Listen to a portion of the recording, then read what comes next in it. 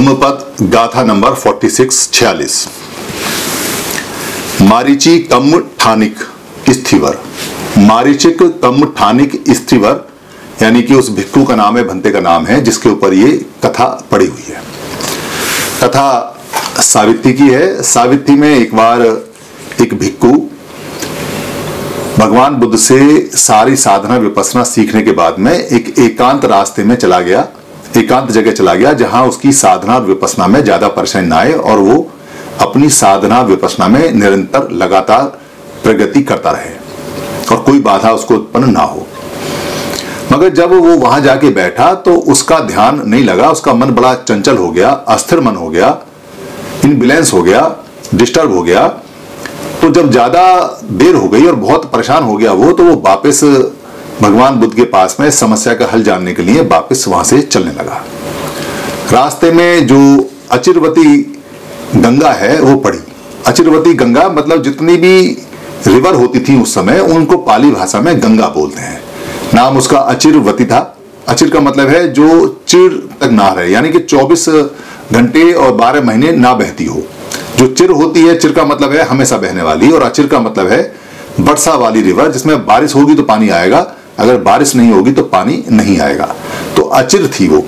यानी अचिरवती जो गंगा थी, जब वहाँ पहुँचा तो उस समय उसमें पानी था तो वो देखता है कि पानी में जो फेणु है, फेणु माने फ़ैन। फ़ैन का मतलब होता है बुलबुले यानी बबल, जो झाग बनते हैं। यानी पानी में लगातार पानी के बुलबुले, झाग और फ़ैन बन रहे हैं और जितनी तेज़ी से वो बन रहे हैं, उतनी तेज़ी से ही वो नष्ट भी हो रहे हैं। लगातार पानी गिर रहा है झाग बन रहे हैं, बुलबुले बन रहे हैं और वो लगातार लगातार खत्म भी होते जा रहे हैं। इसको वो बड़े ध्यान से देखता है। ये बात उसे कुछ कमाल की सी लगती है। उसके बाद वो वहाँ से आगे बढ़ता है। आगे बढ़ने के बाद वो देखता है कि काफ़ी दूर चलने के बाद में उसको प्यास लगनी शुरू होती है। तो प्यास लगने में वो पानी को इधर उधर घूमता है और वहाँ अगर आप वहाँ की भूमि देखें, भौगोलिक स्थिति देखें तो वहाँ पत्थर, पहाड़ ज़्यादा हैं पेड़ वेड़ कम दिखाई देते हैं। तो सूरज की रोशनी जब पड़ती है तो पड़ते समय वो ऐसा रूप बदलती है, जब उससे परिवर्तित होती है तो ऐसा लगता है जैसे पानी की तरंगे वहाँ पर हैं या पानी हिल रहा है। इसको पाली भाषा के अंदर मरीची बोलते हैं। यानी जहाँ जो सूर्य का प्रकाश है, सूर्य के प्रकाश में जो परावर्तित किरणें उत्पन्न होती हैं, जो परावर्तित किरणें व्यवहार करती हैं सूरज की रोशनी के साथ में तब उस व्यवहार से ऐसा लगता है कि जैसे वहाँ पानी सा छल छला रहा है, पानी सा हो रहा है। इसको पाली के अंदर, क्योंकि मरीची जो शब्द है वो पाली का है। तो उसे वहाँ मरीची जैसा धम लगा, यानी कि मरीची का वहाँ पे व्यवहार लगा। तो पानी के लिए जब वो वहाँ पहुँचा तो वहाँ उसे कुछ नहीं मिला, सूरज की किरणें थी। तो उसे ये बात भी बड़ी अजीब लगी कि सामने ऐसा लगता है कि जैसे पानी है और जब वो पानी के लिए आगे बढ़ता है तो वहाँ उसे पानी नहीं मिलता। फिर थोड़ा आगे जाके लगता है कि जैसे यहाँ पानी है, पानी उसे वहाँ भी नहीं नहीं मिलता। तो ये मारिची जी का जो धम्म था, ये उसने देखा बड़े ध्यान से इसको जाना। फिर वो थोड़ा आगे बढ़ा, उसने देखा एक पेड़ के अंदर बड़े सारे फूल हैं जो पूरी तरह से फूले हुए हैं, यानी खिले हुए हैं। और उसने वो फूलों को ध्यान से देखा कि उसमें कुछ फूल पिचक भी रहे हैं, मुरझा भी रहे हैं। और ये सारी बातें करता हुआ वो भगवान बुद्ध के पास में पहुँच गया। पहुँचने के बाद उसने अपनी सारी बातें बताई। बताने के बाद में उसने अपने रास्ते का एक्सपीरियंस भी बताया कि मैंने पानी के बुलबुले देखे, मैंने वहाँ पर जो मारिची है, मारिची का धम्म भी देखा और मैंने वहाँ पर फूल भी देखे, जो बड़े अच्छे फूले थे, जो मुझे अपनी तरफ़ आकर्षित कर रहे थे और मैं उनकी तरफ़ खिंचा हुआ, चला गया फूलों को देखने के लिए। ये बात जब उसने भगवान बुद्ध को बताई तो भगवान बुद्ध ने ये गाथा कही। भगवान बुद्ध की एक बड़े कमाल की बात है कि वो सभी को एक ही बात समझाते थे कि जीवन कैसे काम करता है, मृत्यु कैसे काम करती है, मगर पूरे 45 साल में उन्होंने दसियों हज़ार तरीके से सभी आदमियों को बड़े प्राकृतिक रूप से जो उदाहरण हैं, जो उपमाएँ हैं, जो एग्ज़ाम्पल हैं, जो एक्सप्रेशन हैं, उनको दे देकर समझाते थे। और खास तौर से जिस व्यक्ति का ध्यान जिस चीज़ में होता था, उसी की वो उपमा बना देते थे, उसी का एग्ज़ाम्पल बना देते थे। यहाँ भी इस गाथा में उन्होंने जो वो उनका जो सावक था, जो उनका शिष्य था, जो वो देख के आया, उसी को उन्होंने उपमा में बदल दिया। और तब ये गाथा कही। गाथा इस प्रकार है। फेणुपमंग काया निमंग विदित्वा, मरीचि धम्मंग अभी शंभु धानो, छेतवान मारस्य पैफुफ कानी ए दस्सनंग। मच्चू राजस्य गछे फेणु उपमंग काया मिमंग विदित्वा। फेणु उपमंग एक शब्द ये, इसको फेणु उपमंग बोलते हैं। वैसे फेणु और उपमंग करके तो फेणु उपमंग का मतलब है कि झाग और जो बुलबुले आ रहे हैं, जो फ़ैन आ रहे हैं, पाली में फ़ैन बोलते हैं फ़ैन बोलते हैं। आज भी पंजाब के अंदर कहते हैं, इसमें बड़े सारे फ़ैन बन गए। ये बड़े सारा जो पानी इसमें फ़ैन आ गए, या जो कपड़े धोते हैं, कहते हैं इसमें फैणु है, और फेणा करके एक झाग बनाने का एक पाउडर भी आता है, जो कहते हैं फेणा फेणा के नाम से आता है, जो बर्तन धोने का, कपड़े धोने का पाउडर है, जिसमें झाग होते हैं। वो चीज़ शब्द बना हुआ है, पाली का शब्द है। तो फेणु की उपमा देते हैं, कहते हैं कि फेणु उपमंग काया मिमंग विदितवा। काया मिमंग का मतलब है कि मिम ममंग माने अपनी, और काया माने शरीर। अपने शरीर को विदितवा माने जानो, ऐसा जानो, जानकर कैसे, जैसे पानी के बुलबुले हैं। यानी कि ये शरीर आपका कुछ समय तक रहेगा। जैसे पानी का बुलबुला कुछ सेकंड तक रहता है, ऐसे ही दुनिया के अंदर ये शरीर कुछ समय तक रहेगा, ऐसा जान के समझो इस शरीर को। मरीची धम्मंग अभी शंभु धानो मरीची धम्मंग यानी मरीची का धम्म समझो। मरीची का धम्म क्या है? मरीची का धम्म यह है कि आपको बार बार बार बार ये भ्रम होता है कि पानी है जबकि पानी नहीं है। ये मरीची का धम्म है, इसको समझो। कि सब दुनिया में ऐसा ही लगता है कि व्यक्ति को हमारा जीवन हमेशा रहेगा, हरेगा, रहेगा, या हम अपने जीवन को पूरी तरह से सुरक्षित समझते हैं, जबकि जब वहाँ पहुँचते हैं तो पता चलता है कि ये झूठ है।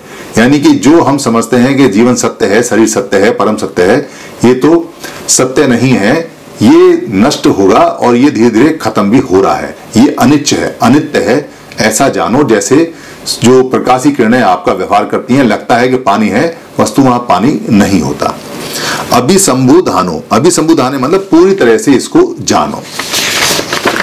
फिर वो कहते हैं क्षेतवान मारस से पुफ कानी क्षेतवान आपने एक शब्द सुना होगा, इसको छेत दे, इसके गाल छेत दे, या उसने मुझे छेत दिया, या उसको छेत क्या।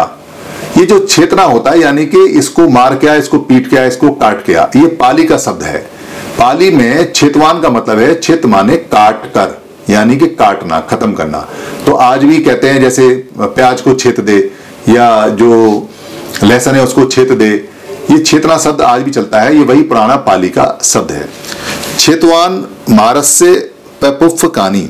मारस्य का मतलब है मार के लिए, और पेपुफ कानी का मतलब है कि जैसे फूल अपनी तरफ़ खींच रहा है रास्ते में, जब वो जा रहा था ऐसे ही मार जो है, वो छेतने के लिए, मारने के लिए अपनी तरफ़ खींचती है, आकर्षित करती है।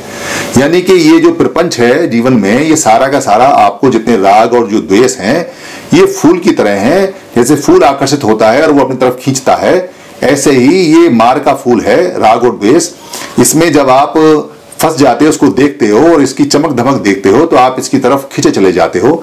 जैसे शराब की चमक है, शराब में आपने देखा होगा कि बोतल इतनी ग्लैमरस इतनी बढ़िया बनाई जाती हैं, उसके एडवर्टाइजमेंट में एक सुंदर नारी दिखाई जाती है, खूब बड़े बड़े रंग बिरंगी चीज़ें दिखाई जाती हैं सिगरेट के ऐड आते हैं, या जो वासना की चीज़ें हैं, उनके बड़े एडवर्टाइजमेंट आते हैं, या जो जितनी भी ऐसी शिक्षाएँ जैसे जो आपको नुकसान देने वाली हैं, जो आपको राग पैदा करने वाली हैं, जैसे भोजन की बहुत बढ़िया बढ़िया फ़ोटो खींच के तले जाते हैं, ये सारी चीज़ें फूल जैसी हैं, जो आपको आकर्षित कर रही हैं और खींच रही हैं, ये मार के एजेंट हैं।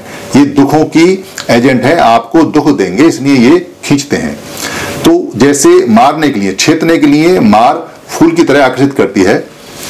ए दस्तनंग मच्चू राजस्य गच्छे। ए दस्तनंग ए दस्तनंग मतलब है कि दर्शन नहीं होना चाहिए, दिखाई नहीं देना चाहिए। कौन नहीं दिखाई देना चाहिए? मच्चू राजस्य, यानी मृत्यु के राजा से। कौन? आप। गछे गछे माने जो गच्छति होता है, उससे गछे है, यानी कि इसका पास्ट टेंस है, यानी कि आप उसको नहीं दिखाई देने चाहिए मृत्यु राजा से। यानी कि जो मृत्यु है, जो मार है, उसके हाथ आप नहीं चढ़ने चाहिए, उसको दिखाई भी नहीं दे, देने चाहिए। इसका मतलब है कि आप उसकी किसी भी चीज़ में नहीं फंसने चाहिए। ना उसके फूल में फंसने चाहिए जो उसको आकर्षित करता है, ना उसका राग में, ना उसके द्वेष में आप खिंचने नहीं चाहिए, फंसने नहीं चाहिए। ये इसका सिंपल सा साधन है। सिंपल सा इसको बताया हुआ है। अगर आप इसको हिंदी में कहें या आसानी समझाएँ तो इस प्रकार है कि जैसे अपने शरीर को इस तरह से जानो, जैसे बुलबुले हैं और अपने जितना भी जो धम्म है, पानी का, वो मार्ची की तरह है। धन्यवाद।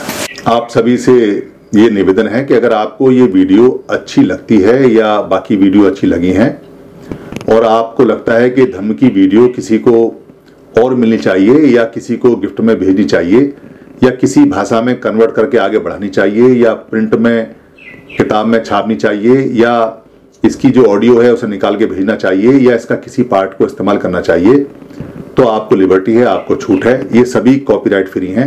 आप अपने फेसबुक पे, अपने पेज पे, अपने ट्विटर पे, या अपने हैंडल पे, या लिंक को कहीं भी शेयर कर सकते हैं, कहीं भी चला सकते हैं। आप यूट्यूब पे भी चला सकते हैं, अपने नाम से चला सकते हैं। इसके लिए इजाज़त लेने की या परमिशन ले लेने की बिल्कुल भी ज़रूरत नहीं है। आप इसको अपना मान के चलाएँ, क्योंकि धम्म सबका है। हम जो बताते हैं, वो भगवान बुद्ध का है या महापुरुषों का है। उन्हीं की बात को सरल भाषा में बताते हैं। हमारा सिर्फ़ इतना राइट है इस पे कि हम इसको लोड कर देते हैं। बाकी सारी ये पूंजी आपकी है। धन्यवाद। शरणं गच्छामि।